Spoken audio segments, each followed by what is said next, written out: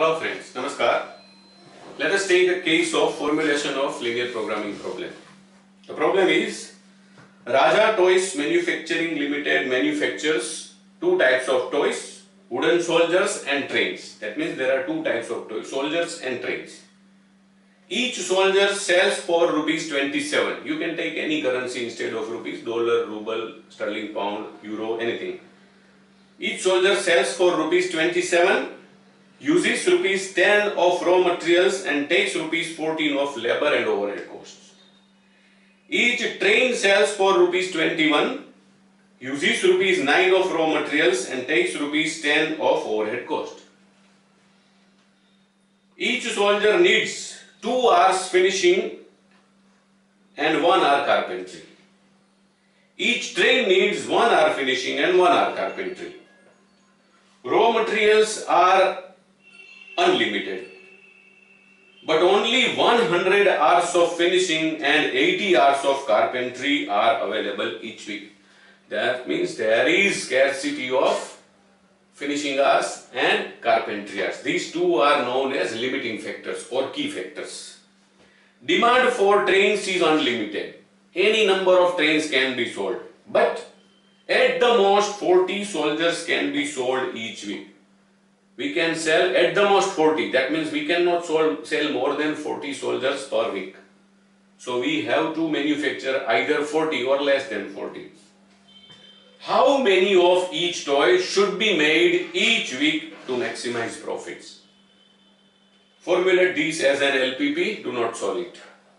See the last sentence. How many of each toy should be made each week to maximize profit? This sentence gives us information regarding two important factors. First, decision variables. How many? Two, because we manufacture two types of toys, soldiers and trains. We need to determine, ultimately, as a part of our optimal answer, we need to determine number of soldiers and number of trains to be manufactured. So, number of soldiers and number of trains to be manufactured are our decision variables. But roughly we can say that soldiers and trains are our decision variables. So number of decision variables 2 which soldiers and trains. And another most important information from that statement available is what is the objective? Maximize profit. That means maximization of profit is our ultimate goal behind all these activities. Now let us solve the problem. First of all, let me clear about the decision variables.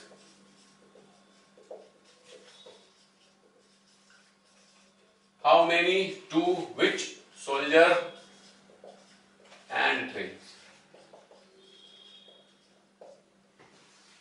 Let us be clear about objective. What is the objective? Maximization. Maximize what? Total profit. Profit means total profit. We are not interested in maximizing the per unit average amount of profit we are interested in maximizing our total amount of profit.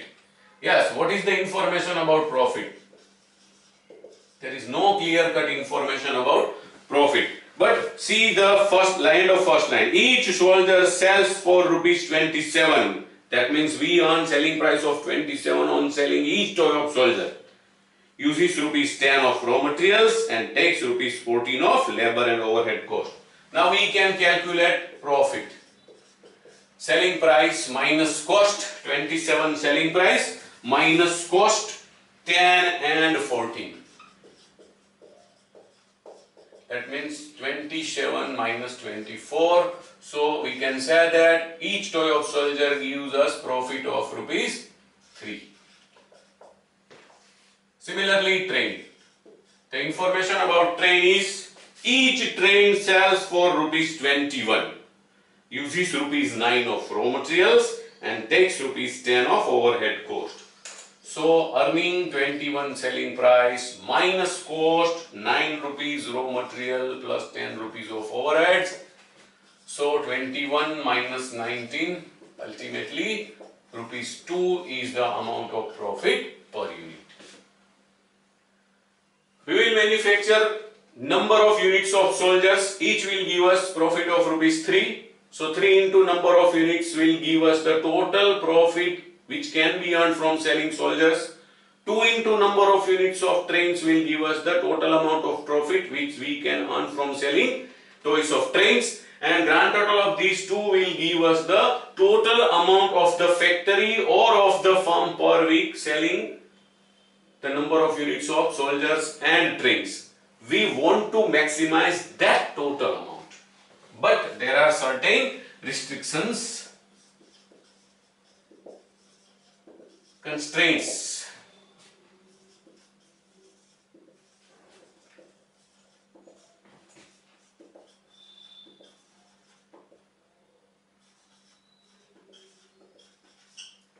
Constraint is, say two constraints are regarding resources of production and one is regarding sales.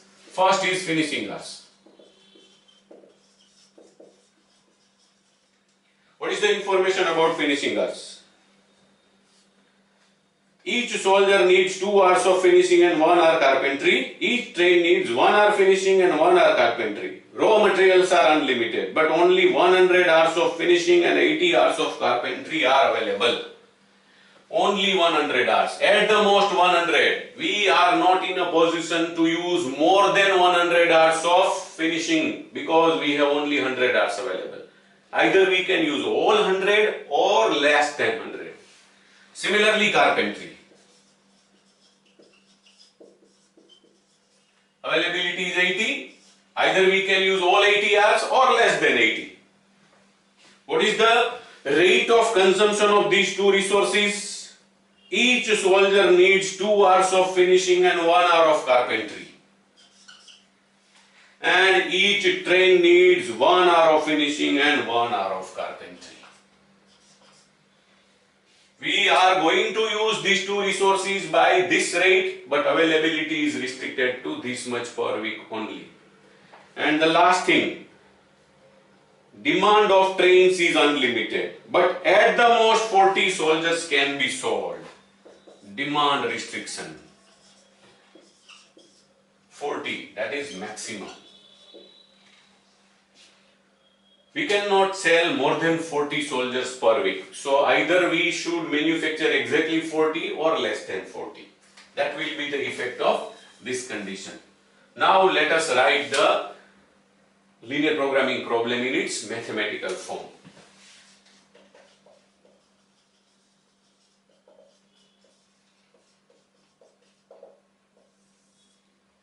Let the number of units or number of toys to be made or manufactured or produced. Let the number of units to be made of soldiers equals to x1 and trains equals to x2 we can take x and y also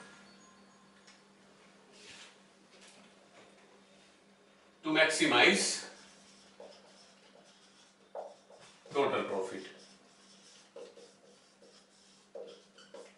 The function of total profit will be z equals to 3x1. 3 is per unit amount of profit from soldiers and we are going to manufacture x1 number of units plus 2x2. 2 is the profit per unit from train and we are going to manufacture x2 number of units. So the total profit will be 3x1 plus 2x2. But subject to certain constraints or conditions. What is the first one? It is regarding finishing time. That will be 2x1, total consumption of finishing hours for soldiers. 2 per hour into, 2 per unit into x1 units, plus 1 into x2, less than or equal to 100. Why less than or equal to 100? We have 100 hours available. At the most we can use 100. We cannot use more than 100, so there can never be greater than 10. Either we can use all 100 equal to or less than 100, less than. So the sign less than or equal to should be there. Similarly carpentry. 1 R. x1 into 1 plus x2 into 1. Again less than or equal to 80, the same logic. We have only 80 R's, so we cannot use more than 80 R's. So greater than sign can never be there. Either we can use 80 hours exactly or less than 80 hours. Now demand or maximum demand.